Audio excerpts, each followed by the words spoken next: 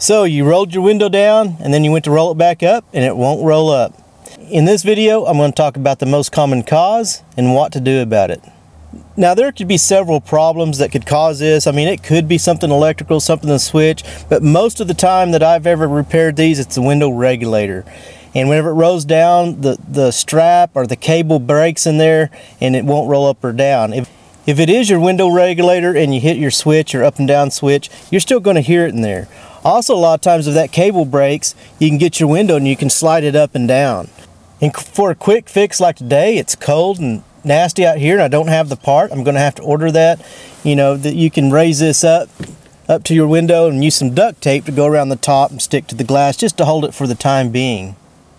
So if this happened to you, don't worry because it happened to me too. And in my rear window, I'm going to show you the steps I took. I'm replacing the regulator on a 2007 Nissan Titan. This is the left rear door.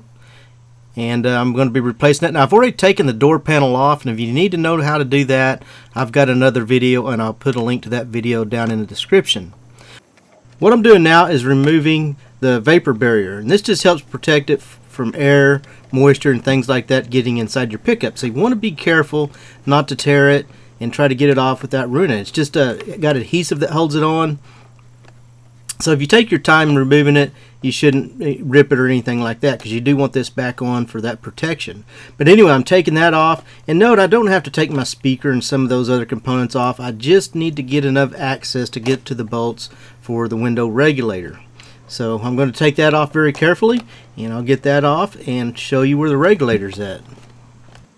Okay, I got the vapor barrier out of the way and I'm showing you where a couple of the regulator bolts are. There's a couple on top there and there's a couple on bottom. I'm going to give you a close-up here in a little bit. But we also got to get to the uh, glass, the, the, the where the regulator holds the glass on. We need to remove that so we can get the glass out of the way. And here's a close-up of the two bolts. You can get through those access holes to be able to remove the glass from the window regulator. There's one right there and then there's one in that other hole. So I may have to position the glass a little bit to get align that with the bolts.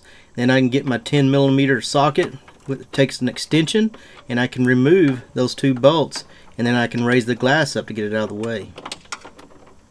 Then I'll move the other side and remove it, and there's just two bolts that hold the window on. Then I can raise the window up once those are removed, so I can get the glass out of the way. So I'll raise the glass and you can see that I have a suction cup that straddles over the top of the door, holds the glass up, keeps it out of the way, keeps it from falling when you're replacing the regulator.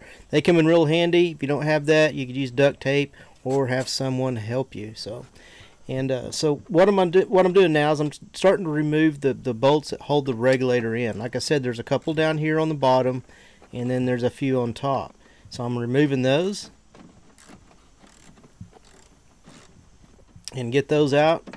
And, uh, then I'm going to disconnect the wire because the the radi the window regulator does have a wire that runs the motor so you need to disconnect that from the door so that when you put the new one in you know you can run that reroute that wire through there and reclip it to the door panel. So when you put the, the interior trim pan panel on you know you'll be able to clip it on real easy and like I said if you need a, a video showing you how to remove the door panel and put it back on. I'll put a link down in the description because I did a separate video for that.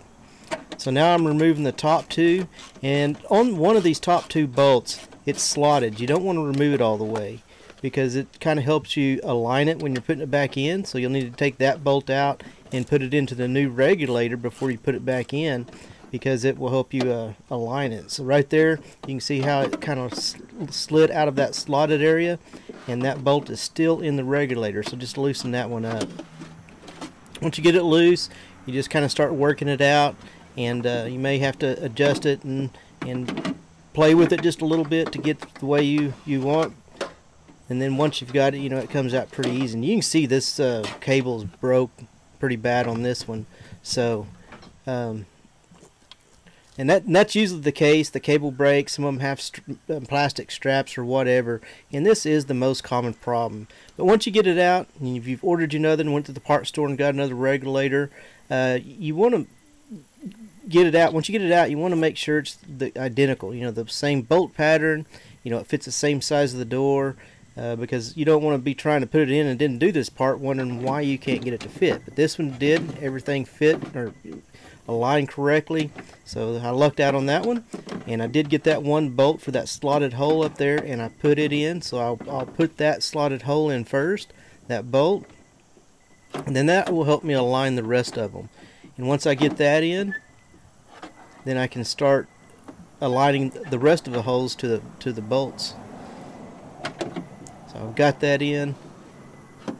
And now I can kind of slide the regulator up or down until you know the all the bolt patterns line up. Then once they once they do that I'll just hand tighten them all in and uh, then I'll come back with the ratchet and tighten them down. But I like to get everything hand tight first to make sure everything's fitting up right in the way it should uh, before I start tightening them down. Think so I'm just uh, hand tightening this one right here and again, you may have to reach your hand back in there and kind of push back and forth to get it all to align. And there's that one bolt right there I didn't mention at the beginning. I kind of found it after I started, but there is another bolt down there on the bottom. So you could probably find these regulators on Amazon, uh, your parts store. If you wanted to go with a dealer item, I'm sure you could get one, you know, an OEM uh, window regulator. This one is aftermarket. And don't forget to pull that uh, wire to your motor that's coming in. You know, be sure and route it back through the hole that it went through so that you can clip it up and you can plug it in when you put your door panel back in. So now I am dropping the window so that the window can meet with the window regulator mounts and I will drop that down to the align and then I'll do the same thing. I'll kind of use the, the extension in the socket to hand tighten those two 10 millimeter bolts on and then I will come back with a ratchet and snug them up tight. Uh, and again, with any of this, this does not take a lot of uh, torque. I mean, you don't want to tighten anything up too tight. That could cause problems, could cause damage, and then you, uh, you know, if you strip something out, then you're in a mess. So. Okay, now we've got all the bolts tightened down. We've got them you know, hand tight, and we ratchet them, them tight. Uh, we've got the wire for the window regulator uh, routed through, and now we're just pulling in the door handle cables and anything that needs to come through this uh, barrier. We're pulling those through, and then we can put this back on. And this should stick back easily. If you have a problem that's not working well, you can use uh, something like weather strip adhesive or something like that to stick it on. But this one stuck back on well and didn't have any problems with it. So and that, my friends, is the most common window problem if it won't roll up and how to repair it. Thanks for watching, take care, and we'll see you in the next video.